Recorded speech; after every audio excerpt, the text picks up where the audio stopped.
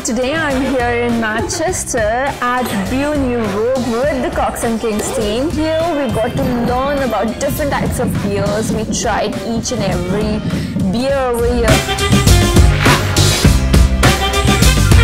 The beer culture in Manchester is really unrivaled by most of the cities in the UK just because it's so authentic, it's so real.